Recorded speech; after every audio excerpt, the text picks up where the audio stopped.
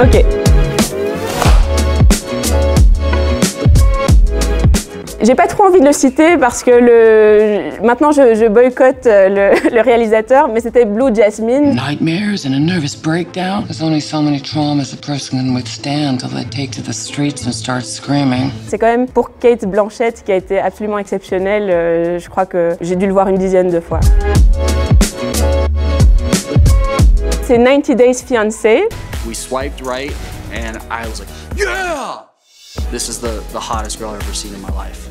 Please be real. Que j'adore regarder, qui est une émission en fait euh, où des Américains et Américaines en fait euh, sont en couple avec des, des personnes euh, de pays étrangers. Donc il y a toujours la question est-ce que c'est pour la green card ou pas? Et, et toujours un casting assez exceptionnel. Et donc ouais, je suis assez fan de cette émission.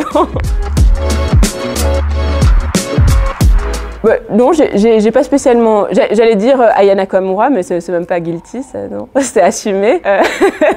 oh, dja dja. Y'a pas moyen, dja dja. J'suis pas ta cata, dja dja. Diams aussi. Comme un coup de boulette, boulette sur les ondes. Alors ouais, on déconne, non, non. C'est des artistes talentueuses. Pour l'instant, j'écoute beaucoup euh, Hill, je dirais Zion.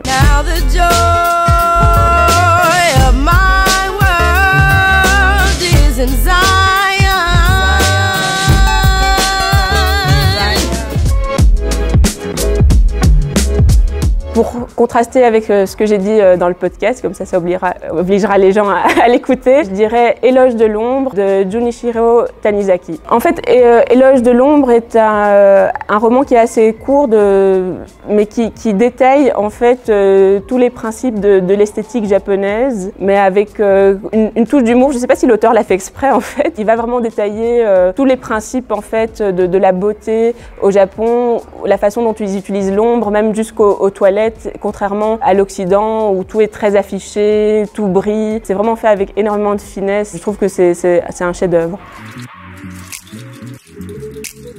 Euh, j'ai adoré euh, Nononba de Shigeru Mizuki, je pense, qui a remporté un prix au Festival d'Angoulême, qui est absolument euh, exceptionnel. Ils sont trop machos les Japonais, euh, j'ai pas vraiment de personnalité. Euh, j'ai toujours été assez fan euh, de sumo, mais je préfère les sumettes. Je dirais mon, mon, ancien coach japonais, Eiji. Oh, moi, je suis très gourmande, hein, je mange. mais fort chocolat. J'adore les, pralines de passion chocolat. Donc, si un jour il faut m'offrir des pralines, voilà, il faut aller là-bas. Mais en fait, je, cuisine très mal. C'est une catastrophe. Je, l'ai réalisé pendant le confinement, que j'allais probablement, s'il y avait une vraie apocalypse, je serais une des premières à mourir parce que je serais pas capable de, m'alimenter correctement. Je me débrouille avec des pâtes, quoi, avec un peu de safran pour euh, donner la touche. Euh. Mais sinon, j'adore manger et, le shawarma, je crois que c'est euh, la, cuisine li libanaise ou asiatique, la, la, cuisine asiatique aussi, vietnamienne, japonaise, j'adore. Mais je sais pas la faire.